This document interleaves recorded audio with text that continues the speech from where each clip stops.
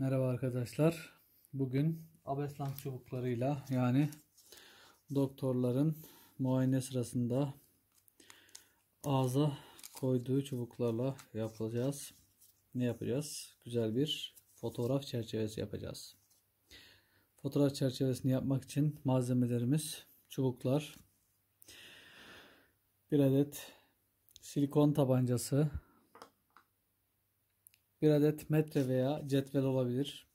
Çubuklarımız, hasır ip ve makas. Evet, başlamadan önce metremizle çubuğumuzu birer santim işaretliyoruz. Evet.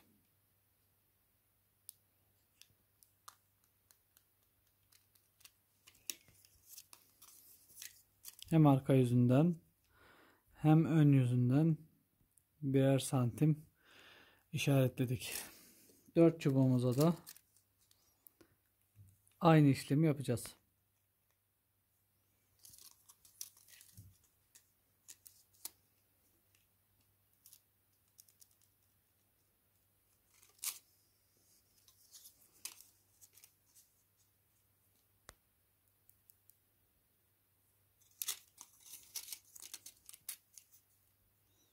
Şu an elimde cetvel olmadığı için metre kullanıyorum.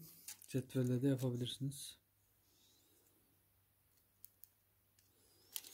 Ya tam milimetrik olmasına gerek yok.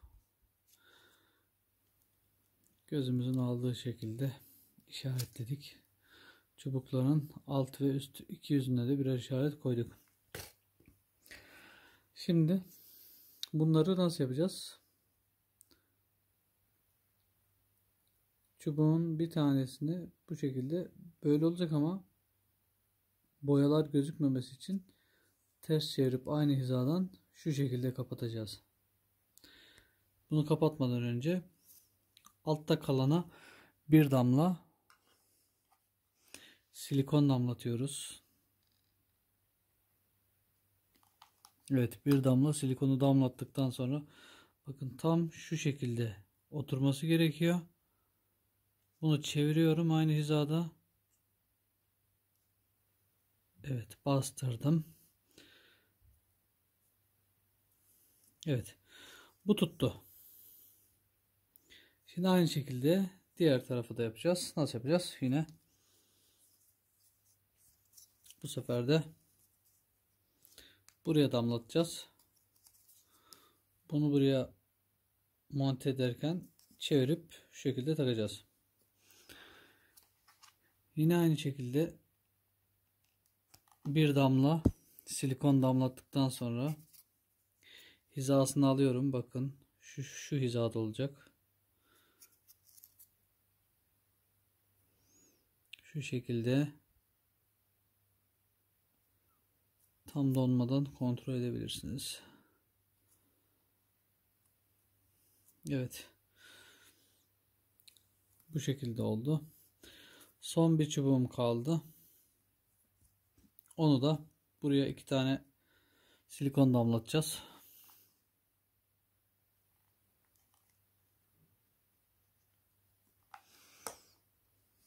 Daha sonra diğer çubuğumuzu alıyoruz. İşaretleri belli zaten.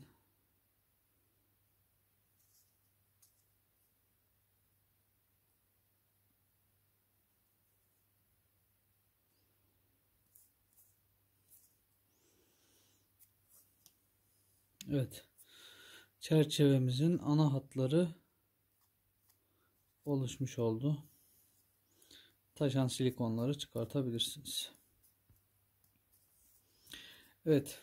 Bu çerçevemizin ana hatlarını oluşturduk. Sırada süslemesi var. Çevrelerini kapatması var. Bunu nasıl yapacağız? Bunun için önce hasır ipimizi elimize alıyoruz. Evet çerçevenin bu yüzü mü ön olacak, bu yüzü mü ön olacak? Önce ona karar vereceğiz. Burada silikon izleri var bu arka yüzde. Burayı ben arka yüz olarak belirliyorum. Burası ön yüz. evet arkadaşlar. ön yüz olarak bu tarafı belirledim.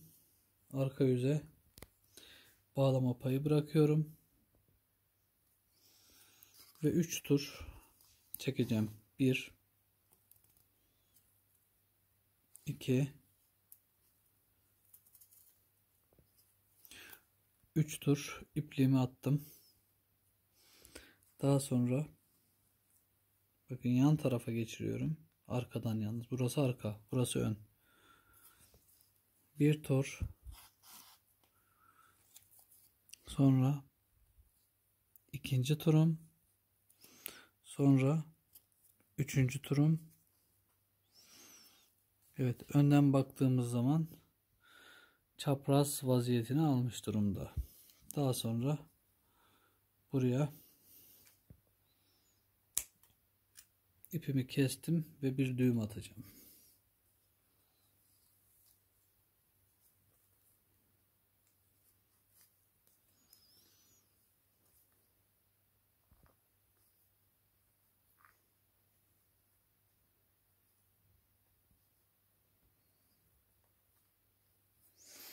Evet, düğümden sonra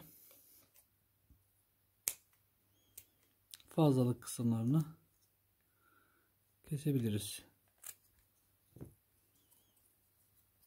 Evet. Dört köşeye de bu işlemi uygulayacağız. Evet arkadaşlar videonun fazla uzamaması için diğerlerini yaptım. Son bir tanesi daha kaldı. Bunu tekrar beraber yapalım. Evet. Burası ön yüz. Burası arka yüz. Arka yüzde düğümler var. Şimdi arka yüzde bağlama payı bırakıyorum. Sonra 3 tur dolayacağım. Birinci tur.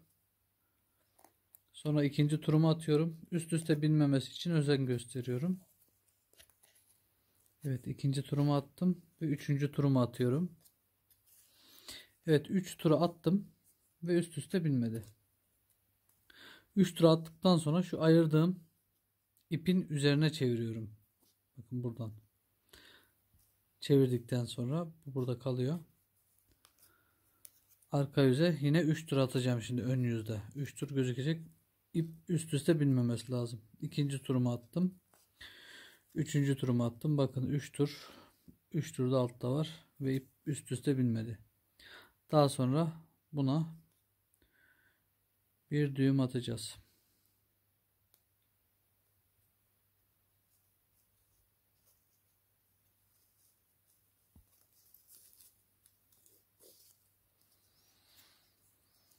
Düğüm atarken tekrar kontrol ediyorum. Üst üste binmişse düzeltiyorum. İyice sıkı bir şekilde düğüm atmamız gerekiyor. Tekrardan kaymaması için. Evet. Üst üste binen yer yok. Çerçevemizi oluşturmuş olduk. Fazlalık iplerimizi keselim.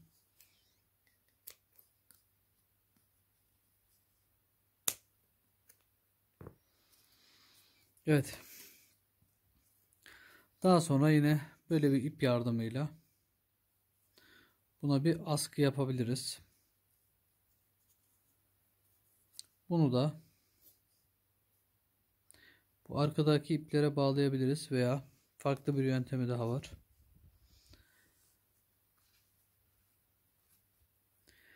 askı için biraz ip alıyoruz.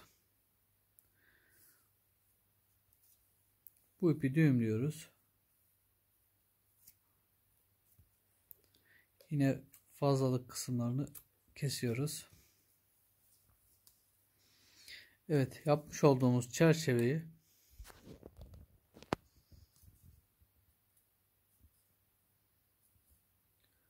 şu şekilde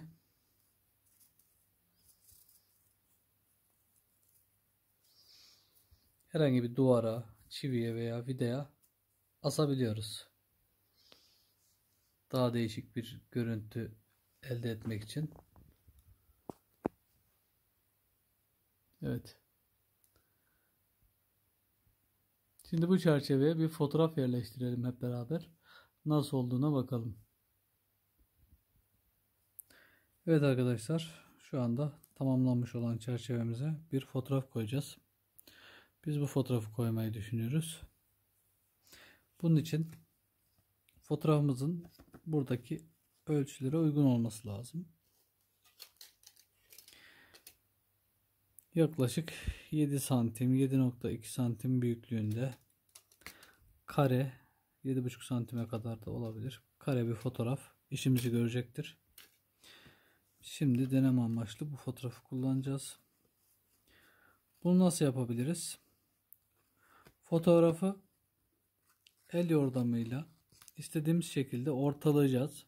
Ortaladıktan sonra bir mandal yardımıyla şöyle arkasından tutturabiliriz. Sağa sola kaymaması için.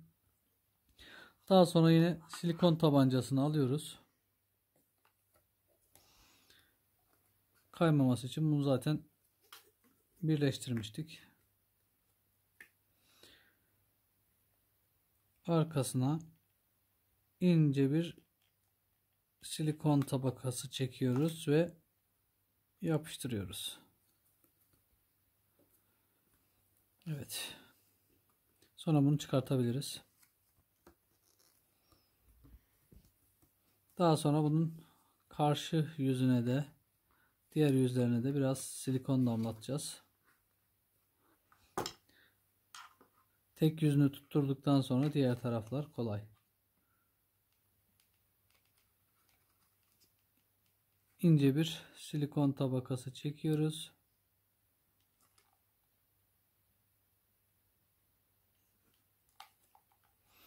Evet daha sonra arka yüzüne yapıştırıyoruz.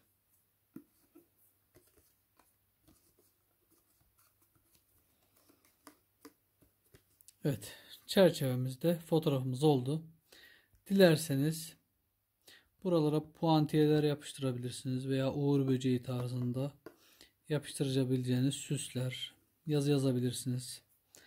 Daha sonra işimiz bittikten sonra bunu bu şekilde ip yardımıyla istediğiniz yere asabilirsiniz. Bu ipi kısa da tutabilirsiniz.